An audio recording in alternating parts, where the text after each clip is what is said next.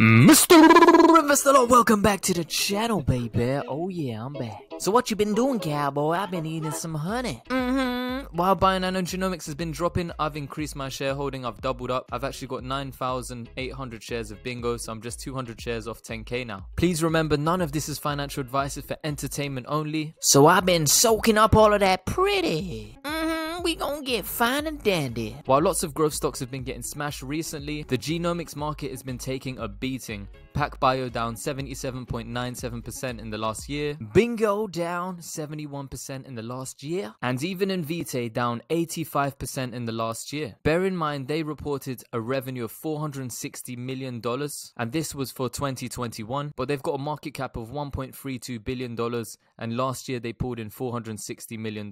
Right now, growth stocks across the board have been getting a beating, but take a look at the predicted revenue of Invitae by 2026. They're saying an estimated $1.95 billion over on Chartmills. And I've been looking at Chartmills and I noticed something recent with uh, Chartmill. They updated the 2022 guidance and it used to be $29 million. That was the estimate of what Bingo's revenue is going to be for this year. Now they've cut this down to $26.5 million, but they've also added in 2026's revenue, which is nearly $300 million. They're expecting large future growth within the next few years. Within one year, they're saying the revenue growth is going to be 50%, second year 64%, third year 71%, and over five years 75.6%. Another interesting thing to note is if we look at institutional share ownership, we can see 28%. I think it's nearly nearly 29%, yep, 28.4% institutional shares. And whilst there have been some institutions that have been exiting or decreasing the amount of shares they have with Bionanogenomics, there's been other institutions that have actually increased. One in particular really caught my eye. Now, this one was Citadel. I was looking at what Citadel's been doing. So they've increased, this was reported the 13F form on the 14th February 2022, according to Fintel, and they've increased their call options by 6%. They've decreased the amount of puts by 30%. And if you look at their shares, the accumulation has been wild. 1229% they're now sitting on 3.4 nearly 3.5 million shares an average cost basis of $4.72 so this is on fintel. As you guys may know citadel the hedge funds company. So some of these hedge funds are paying for alternative types of data known as alpha. Some of this data is web scraped web crawling data translational data web and app tracking data news and events data, and economic data. But there are also lots of social sentiment data. So when they're paying for alpha, they can see often the movements and the sentiments of the retail market. So what I'm interested in looking at is uh, what Citadel chooses to do in terms of accumulation. If they're going to continue to accumulate bionanogenomic shares and reduce their cost basis. In terms of genetics and genomics, what is going on over in England? Well, apparently they've test piloted and developed a bedside genetic test which is saving children from losing their hearing. So there is a commonly used uh, antibiotic called gentamicin, which is used for several types of bacterial infections. And over on the NHS site this month, they have said that a world first genetic test has been developed and successfully piloted in the NHS. So it takes just 25 minutes. You take a swab from the baby. And so if a kid comes into hospital, they're born and they have a serious infection or they're trying to prevent infection, some of them are given gentamicin. So it's safely used to treat about 100,000 babies a year, but 1 in 500 babies carry a gene that can cause permanent hearing loss if they're given gentamicin. So why is the NHS choosing to implement this kind of bedside genetic test? And the reason is they want to see if these babies have this genetic variant and then they can be given an alternative antibiotic within the golden hour so they're not given gentamicin, which could make them deaf. And there's a lot of different treatments and innovation that are springing up within the NHS because they want to be at the forefront of things. They want to deliver these cutting edge technologies and treatments to their patients to improve patient lives and improve patient care. So, in terms of pharmaceuticals and genomics and looking at certain genes, when Bionanogenomics was first made, it was made to actually map out the BRCA1 breast cancer gene 1 and breast cancer gene 2. So with precision medicine and pharmacogenomics coming through, so there's been this kind of movement coming through talking about modern medication saving millions of lives every year, but not every medication is good for everybody. It's not suitable for everyone. And while one medication might be good for someone, it may not work for you. So even if it works for other people, it could cause severe side effects for you. So when people are looking at genomics and pharmaceuticals and medications, they want to see how the genome influences your response to medications. Are you going to be at a greater risk of side effects? Do you need a higher dose? Some people need higher doses than others. How effective is the medication going to be for you? Are you even going to benefit from the treatment? You see, when we had that symposium, that Bionanogenomics symposium back in January, there were some people from the pharmaceutical companies of Pfizer and AstraZeneca floating about. There was actually a senior scientist from AstraZeneca from the gene editing safety group talking about therapeutic cell and gene therapy development, and they were utilizing optical genome mapping by Bionanogenomics. The gene therapy market is a huge growing market. It's set to hit $15.6 billion by 2030, having a compounded annual growth rate of 20% per year from 2021 to 2030, according to Globe Newswire and Precedence Research. Recently, we've had some other news here. It's talking about the largest study of whole genome sequencing data, giving new clues to causes of cancer. So they've said by analyzing NHS patients' data, they found a treasure trove of clues about the causes of cancer, talking about genetic mutations providing a personal history of damage and repair processes that each patient has been through. This could be anything from environmental causes of cancer, such as smoking or UV light, and that the team from Cambridge University Hospital Hospital were analyzing 12,000 NHS cancer patients and they spotted 58 new mutational signatures. Whilst they were using whole genome sequencing, whole genome sequencing still doesn't give the full picture, and with thousands of mutations per cancer, can bionanogenomics be utilized alongside this? So when I was looking at these mutational signatures, I opened a study and then I opened another study, and people say that cancer is a disease of structural variation. When I opened the other study, it was talking about somatic mutations in cancer genomes. Somatic mutations are alterations in DNA which occur after after conception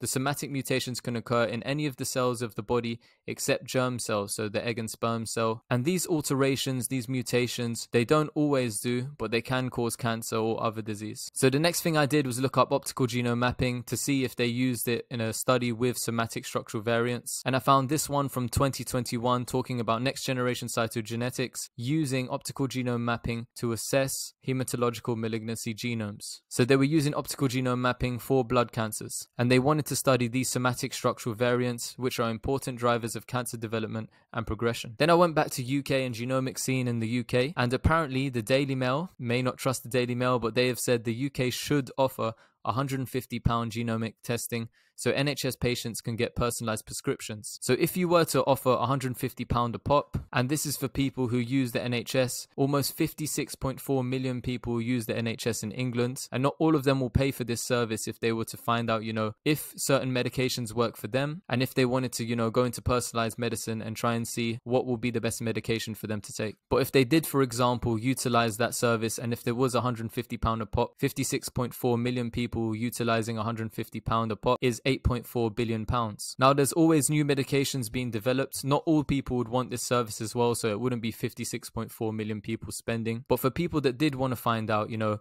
whether or not codeine was effective for them, apparently according to this BBC article you can see here from the 29th of March, it's talking about matching drugs to DNA is the new era of medicine. And if you scroll down and go to this article, you can also see that more than 5 million people in the UK get no pain relief from codeine. And that's because their genetic code does not contain the instructions for making the enzyme that breaks down codeine into morphine, and without it, the drug is a dud. A lot of these professors, as well, including a professor at the University of Liverpool, Professor Sir Munir Pirmohamed, has said we need to move away from a one drug and one dose fits all to a more personalized approach where patients are given the right drug at the right dose to improve the effectiveness and safety of medicines. Lord David Prior said that this will revolutionize medicine. He said pharmacogenomics is the future and it can help us deliver a new, modern, personalized healthcare system fit for 2022. So, what is the reason why drugs work for some people and they don't work in others? Apparently, there are small differences in our genes. These differences mean that some people metabolize drugs faster than others, and other individuals might require higher or lower dosages of the same drug to get the same effect, all depending on their genes. It can also include the genetic differences that change the amount of enzymes available to break down a medication or may cause the enzymes not to work. So, drugs aren't equally effective for everybody, and at the Royal Pharmaceutical Society, the director for England, called Ravi Sharma, has said that genomics won't just transform medicine for pharmacy, it will transform medicine for the whole healthcare system. Over at Queen Mary's University of London, on their website, they're talking about the new report calling for personalized testing, and this is for safety and effectiveness as well for common medicines throughout the NHS. Now, in terms of AstraZeneca getting involved and utilizing the Saphyr machine, but also Pfizer taking a look. Are they looking at personalized and precision medicine and they're utilizing optical genome mapping for it? Because they're definitely using it for gene therapy development. They're taking a look at it and seeing, you know, using optical genome mapping, are we able to create these new treatments? Some keywords as well, which is really important, is the chair of NHS England, the National Health Service in England, Lord David Prior, has said what he wants to do is actually make sure that pharmacogenomics is available to everybody. It must be funded centrally. It's too important to risk a postcode lottery, so it should be available to everyone, regardless of where you live in the UK. Now, let's take a look at this short video on optical genome mapping, talking about cancer, for example, and certain treatments and how genetics can also affect certain treatments being given by doctors in hospitals. Patient A has recently given a biopsy to further investigate a potentially cancerous tissue. Their biopsy samples are sent to numerous centers to perform several different analyses, including histology, DNA sequencing, karyotyping, fluorescence in situ hybridization, and chromosomal microarray analysis, to name a few. Patient A's doctor, Dr. B, waits a minimum of two weeks to get the results back. The results indicate two major chromosomal aberrations resulting in a translocation and indicative that patient A's biopsy sample does contain cancerous tissue. Based on these results, Dr. B suggests a first-line therapy, but unfortunately patient A's condition worsens. Unknown to Dr. B or patient A, patient A's cancer actually had an additional small partial duplication which allowed the cancer to evade the prescribed therapy. In complicated situations like this one, optical genome mapping presents as a promising alternative to existing test methods. Not only can optical genome mapping reveal the full scope of genomic variations within a cancer sample, but also has a shorter turnaround time. This can allow healthcare professionals like Dr. B to treat their patients faster with therapies more likely to successfully treat their cancer. Okay, so this is actually MHSC Medical Genomics, as you can see over here. So I was watching some videos on optical genome mapping and I came across that talking about certain treatments, medication, and how optical genome mapping can help. And these guys made a part two and they were comparing it to gene sequencing and they wanted to show what optical genome mapping can bring to the game. So they were saying cost effectiveness, but also time. They can speed up things. Optical mapping can read single molecules with an average length of 300 kilobases. While this is possible with long read sequencing as well, with optical mapping, there's a definite cost advantage. Let me put this in perspective. 200x genome coverage costs about $500 for optical genome mapping when compared to 10,000 or $20,000 for whole genome sequencing with long read technologies. You've told me so many exciting things about optical genome mapping. But is there evidence for the utility of this technique in comparison to the current gold standard? Spoken like a true scientist, Anjali. So let's investigate how optical genome mapping actually performs. So there's been one single published study that has compared the validity of optical genome mapping for detection of constitutional abnormalities. 85 cases with 99 aberrations were detected by karyotyping, FISH, and chromosomal microarray and then the same cases were analyzed by optical genome mapping. There was 100% concordance when identifying simple aberrations and superior detection for delineating complex anomalies. When it comes to validating optical genome mapping for acquired abnormalities in cancer, especially hematological malignancies, six studies have compared its detection rate when it comes to numerical and structural variants with cytogenetic analysis. Together, these studies have included around 100 cases. Optical genome mapping was found to be superior to well-established techniques for resolution of more complex translocations. It also had a higher sensitivity for detection of copy number alterations.